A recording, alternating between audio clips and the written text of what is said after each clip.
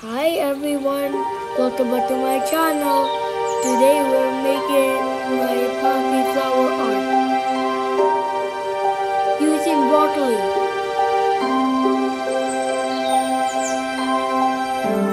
You know the technique. Just dip, dip, dip. Just dip, dip, dip to make the sky and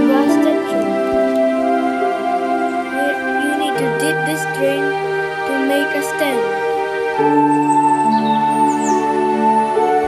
I paint the tiny broccoli to in block to create the pastel.